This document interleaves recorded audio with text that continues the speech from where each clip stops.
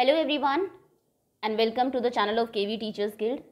So, students, this is second part of chapter, A Shelter So High.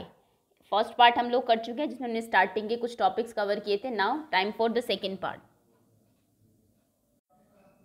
the topic is people living the top of the world लोग जो है, जो रहते हैं top of the world में, दुनिया में सबसे ऊपर now was the time to climb higher अब टाइम आ गया था, उन्होंने बीच में रेस्ट कर लिया था, एक बच्चे के यहाँ पर, उसका घर देखा, वहाँ पर देखा, लोग कैसे रहते हैं रूफ कैसी है एंड ऑल अब टाइम आ गया था कि और हायर क्लाइंब किया जाए, ऊपर की तरफ़ चढ़ाई की जाए. Lone loner has a tough time loner का बहुत ही मुश्किल का टाइम था जिगजैगिंग कर रही थी, क्योंकि वो जिगजैग होता है, ये वाली मूवमेंट आपकी, इधर, उधर, कभी इधर, कोई स्ट्रेट नहीं, सीधा ना हो के जिगजैग चलना. अलॉन्ग नैरो नैरो मतलब बहुत ही पतली गलियों में और rocky mountain roads mountain road जो थी, वो रॉकी थी, बहुत पथरीली थी.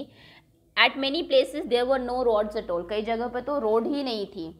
I was moving towards the rocky plain of Changthang मैं जो है अब मूव कर रहा था, जो रॉकी प्लेन था चंगथंग का उसकी तरफ़. This place is at a height of almost five thousand metres ये लगभग पाँच हज़ार मीटर ऊपर था सी लेवल से. जो जगह की ये बात कर रहे हैं, Changthang it is so high that it is difficult to breathe normally इतना ऊपर था कि नॉर्मल ब्रीद करना भी बहुत मुश्किल था। I had a headache and felt weak मेरा सर दर्द, मुझे सर दर्द होने लगा और मैं धीरे धीरे वीक फील करने लगा। क्या होता है कि जितने हायर माउंटेन्स पर आप जाते हैं ऑक्सीजन कम होती जाती है प्रेशर बढ़ता जाता है तो सांस लेने में प्रॉब्लम होती है ब्रीदिंग में भी दिक्कत होती है और हेडेक हो जाता है लोगों को। Then I slowly got used to breathing in such air धीरे धीरे मुझे आदत हो गई ऐसी एयर में ब्रीद करने की। For many days we kept wandering in the area with not a single human being in sight कई दिनों तक हम जो है इस एरिया में वैंडर करते रहे, घूमते रहे, जहाँ पर हमें एक भी ह्यूमन बींग दिखाई नहीं दिया। नो पेट्रोल पम्प्स कोई पेट्रोल पम्प नहीं था नो मकैनिक कोई मकैनिक भी नहीं था only clear blue sky and many beautiful lakes around सिर्फ़ साफ़ नीले रंग का स्काई था और बहुत सारी ब्यूटिफुल लेक्स थी चारों तरफ़। Many days and night passed बहुत सारे दिनों रातें गुजर गई। Loner and I kept moving है लोनर और मैं आगे बढ़ते गए। सडनली वन मॉर्निंग एक दिन सुबह ही I saw before me flat grassy land मैंने अपने सामने देखा फ्लैट बिल्कुल ग्रासी लैंड थी। घास उगा हुआ था जिसपे। Many sheep and goats were grazing there बहुत सारे शीप और गोट्स वहाँ पर ग्रेज कर रही थी चल रही थी। Far in the distance I saw some tents कुछ दूर मैंने कुछ टेंट्स को देखा। I wonder who live there अब मैं वंडर करने लगा कि वहाँ पर कौन रहता होगा। What they were doing in this far out place इतनी दूर जगहों पर वो क्या कर रहे हैं लोग? अब आपके लिए क्वेश्चन है at what height is the place where you live आप जिस हाइट पर रह जिस जगह पर रह, पर रहते हैं वो कितना ऊँचा है कितनी हाइट पर है? This you have to write find out करके आपको लिखना है। वाई डिड गौरव जानी से गौरव जानी ने क्यों कहा this place is so high that it is difficult to breathe normally कि ये प्लेस इतना ऊँचा है कि यहाँ पर ब्रीद करना भी मुश्किल है। तो इसका आंसर ऐसे लिखेंगे आप। The answer will be the air become thinner to go when go to high altitude जब आप हाई ऑल्टीट्यूड ऊंचाई पे जाते हैं तो एयर बहुत थिनर हो जाती है। The level of oxygen in air become less level of oxygen जो है हवा में, वो बहुत कम हो जाता है। हेंस इसीलिए it become difficult to breathe breathe करना बहुत मुश्किल हो जाता है, क्योंकि ऑक्सीजन की कमी होती है। One need to apply lot of efforts to breathe बहुत एफर्ट लेके आपको सांस लेना पड़ता है हाई ऑल्टीट्यूड्स में ओके okay? नेक्स्ट है क्या आप कभी किसी हिली प्लेस पर गए हैं गए हैं तो कहाँ आपको वहाँ पर डिफ़िकल्टी हुई है क्या सांस लेने में? And which is the highest place you have been to कि जिस जगह पे आप गए हैं हाइएस्ट प्लेस उसका नाम बताइए। द चंगपा अब चंगपा के बारे में बताएगा। I met there I met a नाम ग्याल वहाँ पर मैं एक नाम ग्याल से मिला and came to know about the Changpa और मुझे चंगपा के बारे में पता लगा a tribe living in the mountain एक ट्राइब है ट्राइब बोलते हैं उन लोगों को जो कि ट्राइबल लोग हैं, जंगलों में ही रहते हैं। अभी तक बहुत डेवलपमेंट नहीं हुई है। पुराने तौर तरीके से जीते हैं, जानवर पालते हैं, खेती करते हैं नॉल तो वहाँ की ट्राइब थी एक, बहुत पहले से वहीं पर रह रही थी, जिनका नाम था चंगपा। याद रखेंगे आप, ये आपके लेह लद्दाख की ट्राइब है एक। तो उन्होंने चंगपा के बारे में बताया। था Changpa tribe has about five thousand people Changpa tribe में लगभग पाँच हज़ार लोग हैं। The Changpas are always on the move with their goats and sheep वो हमेशा अपनी गोट्स और शीप के साथ इस तरीके से मूव करते रहते हैं एक से दूसरी जगह। It is from these that they get all the all that they need इन्हीं से उन्हें वो सब चीज़ें मिल जाती हैं जिसकी इन्हें ज़रूरत है। जैसे मिल्क मिल जाता है गोट से शिप से। मीट मिल जाता है स्किन फॉर टेंट टेंट्स के लिए स्किन मिल जाती है and wool for coat and sweater sweaters और उसके लिए वुल मिल जाती है और क्या चाहिए? रहने के लिए घर मिल जाता है, पहनने के लिए कपड़े और खाने के पीने के लिए दूध। Their goats are their only treasure उनके जो गोट्स हैं, वो उनका अकेला खजाना है। If a family has more animals अगर किसी फैमिली में ज़्यादा एनिमल्स हैं it is consider more rich उसको ज़्यादा रिच माना जाता है एंड इंपॉर्टेंट और ज़्यादा इंपॉर्टेंट माना जाता है। From these special goats they get wool for making the world famous pashmina wool आपको पता होगा वर्ल्ड एक फ़ेमस वूल है जो पूरी दुनिया में फ़ेमस है, जिसको हम बोलते हैं पश्मीना। पश्मीना की खासियत यह है कि बहुत ही थिन होती है, बहुत ही पतली होती है, इतनी पतला है कि पूरे एक शॉल जो है वो एक रिंग से पास करते हैं आप, कर सकते हैं आप लोग। आपके हाथ की जो अंगूठी है, उससे पूरा एक शॉल पास आउट हो सकता है और इतना गर्म होता है कि आप कितनी भी ठंड में चले जाइए, आपको ठंड नहीं लगने देगा, ओके? तो वर्ल्ड फ़ेमस जो पश्मीना वुल है, और ये सिर्फ़ जो कुछ एक प्लेसेस की ही गोट्स होती है जिनके पास पाई जाती है। इनके पास वो गोट है तो इनको वर्ल्ड फ़ेमस पश्मीना वुल भी मिल जाती है। The Changpa graze their goats at higher and colder places जो चंगपा है, वो अपनी गोट्स को ग्रेज कराते हैं हायर और कोल्डर ठंडी जगहों पर। So that goats have more and softer fur जिससे कि उनकी जो गोट्स हैं, उनमें ज़्यादा फर आए और सॉफ्टर फर आए। जितनी ज़्यादा ठंड होगी, उतनी ही ज़्यादा वो फर ग्रो करती है, उनकी जो गोट्स होती है। They stay high up on these mountains in very difficult conditions इतने हाई माउंटेन्स पर उनको बहुत डिफ़िकल्ट कंडीशन में रहना पड़ता है because that is where these goats can live क्योंकि यही वो जगह है जहाँ पर ये गोड्स रह सकती है। This is their life and their livelihood ये उनकी ज़िंदगी है और ये उनका लाइवलीहुड है। I was carrying very little of my belongings on my motorcycle मेरे पास मेरी बहुत ही कम बिलोंगिंग्स थी मेरी मोटरसाइकिल पर, बहुत कम चीज़ें थी। But the Changpas carry everything that they own on their horses लेकिन चंगपा की जो भी चीज़ें हैं, जो वो ओन करते हैं, जो उनकी है, वो सब हॉर्सेस पर वो कैरी करके चलते हैं और उनके याक्स पर। It takes them only two and half hours to pack everything सिर्फ़ उन्हें ढाई घंटे लगते हैं। जल्दी से वो सब कुछ पैक कर लेंगे एंड मूव अहेड और आगे चल देंगे। कहने का मतलब है कोई भी ऐसी चीज़ उन्होंने रखी नहीं हुआ है जिसको वो कैरी ना कर सके।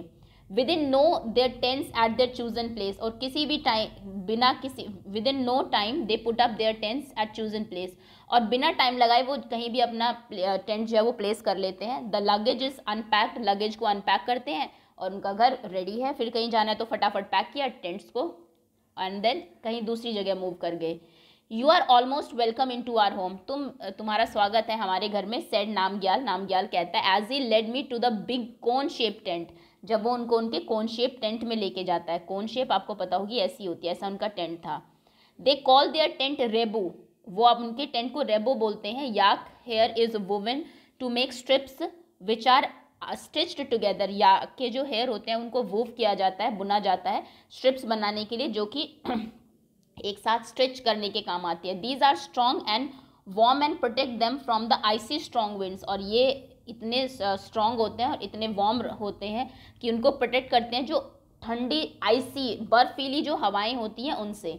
I saw that the strips were tightly tied मैंने देखा कि जो स्ट्रिप्स हैं, उनको बहुत टाइटली टाई किया हुआ है, बांधा हुआ है विद नाइन स्टिक्स नो स्टिक्स से.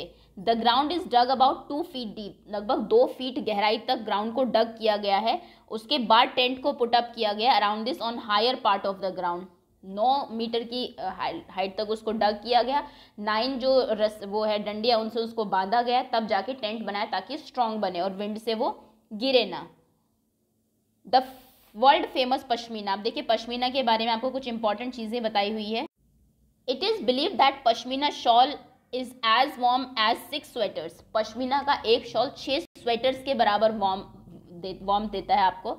It is very thin yet very warm और पश्मीना शॉल जो होता है, बहुत थिन होता है, लेकिन बहुत ही वार्म भी होता है।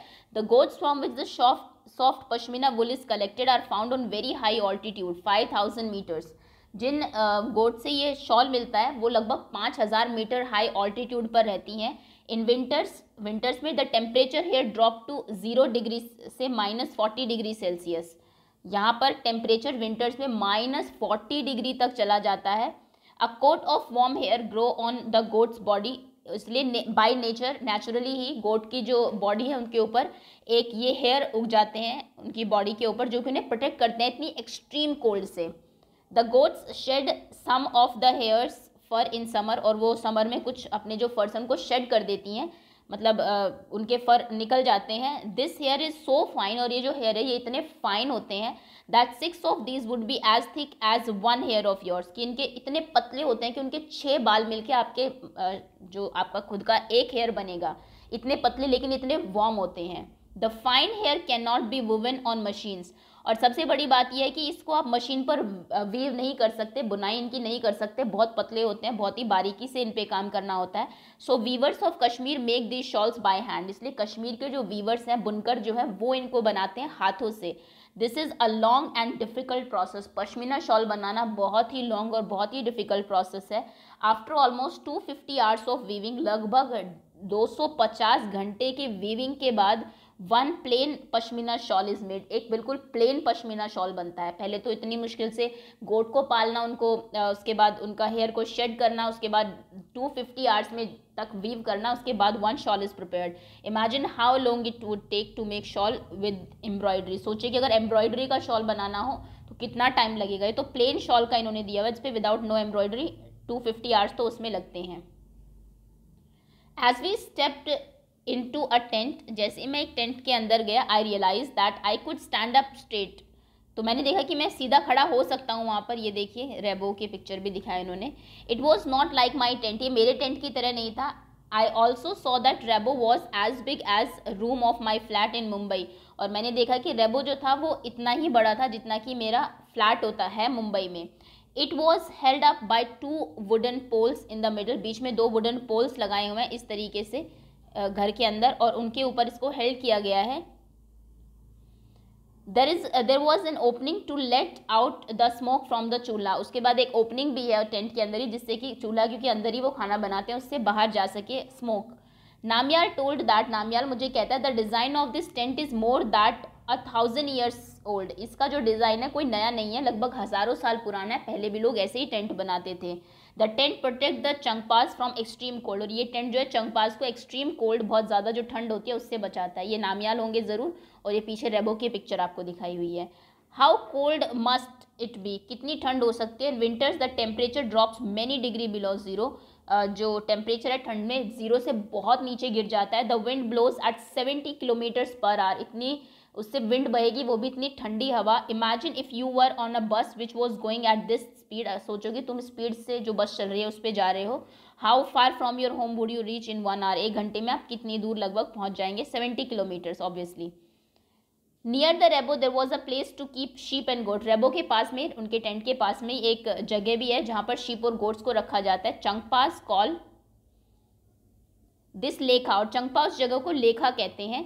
The wall of the lekha are made with stones lekha की जो वॉल है, वो स्टोन से बनाई गई है। Each family puts a special mark on their own animals हर कोई अपने एनिमल के ऊपर एक स्पेशल मार्क लगाता है जिससे वो दूसरों के साथ मिक्स ना हो जाए। The women and young girls count and take the animals out of the lekha. Women जो होती है और यंग गर्ल्स बाहर लेखा से एनिमल्स को निकालते हैं, उनको काउंट करती है रोज़। For the Changpa there their animals are very important part of their life Changpas के लिए उनके एनिमल्स उनके लाइफ का इंपॉर्टेंट पार्ट है। Is any animal part of your life क्या आपके यहाँ पे कोई एनिमल है? पेट एनिमल जो आपकी आपके लाइफ के लिए बहुत इंपॉर्टेंट है, उनके नाम आपको लिखने हैं। List five ways in which an different animals are part of your life किस तरीके से डिफरेंट एनिमल्स आपके लाइफ का पार्ट हो सकते हैं। Do goat and sheep need their own fur and wool discuss this you have to discuss कि किस तरीके से गोट और शिप को उनके खुद के फर और वुल की ज़रूरत है। तो चलिए दोनों के आंसर्स देख लेते हैं। फाइव वेज जिस तरीके से एनिमल्स आपके लाइफ का पार्ट हो सकते हैं, किसी की भी लाइफ का ह्यूमन बींग की on and this second one so the answer here will be five ways in which animals can be part of our life first तो ये होगा animals like dog protect our house from thieves and strangers dog को लोग as pet animals रखते हैं जो उनको protect करते हैं। Second we get milk from cows and buffalo next जो एनिमल है जो हमारे लिए यूजफुल हो सकते हैं काउ एंड बफेलोज जो कि हमें मिल्क uh, देती है. We obtain wool from sheep wool आपको मिलती है शीप से. People also use some animals like horse and ass to carry loads कुछ एनिमल्स को हम लोग लोड्स को कैरी करने के लिए सामान ढोने के लिए भी रखते हैं. Farmers plough their fields with the help of oxygen oxygen की हेल्प से बैलो की हेल्प से लोग जो फार्मर्स हैं अपने उसको प्लॉ करते हैं. तो इस तरीके से कुछ एनिमल्स हमारे लिए इंपॉर्टेंट हो सकते हैं. एंड गोट्स एंड शीप जो कि कोल्ड रीजन्स में रहते हैं, उनको खुद के फर चाहिए होते हैं और वुल चाहिए होते हैं to keep their body warm इसलिए उनके उस पर फर वो उगते हैं उस स्पेसिफिक सीज़न में क्योंकि बहुत ठंड होती है, उनको अपने आप को प्रोटेक्ट करने के लिए बाय नेचर ने उनको ऐसा वो दिया कि वो फर आते हैं, जिनको कि बाद में समर्स में कट करके हम लोग शॉल बनाते हैं ओके सो ये इन दोनों क्वेश्चन के आंसर होंगे आपके। नेक्स्ट जो क्वेश्चन है हमारे towards Srinagar and all these question we will do in part three because बहुत लेंदी वीडियो नहीं करनी है, आपको भी समझना है चैप्टर साथ साथ तो now for now thank you so much for watching and wait for next part